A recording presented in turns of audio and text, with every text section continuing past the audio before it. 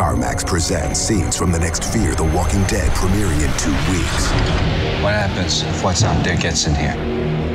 We run. You know what's out there. We can't stay here. The wall's getting hot. Someone's inside our house.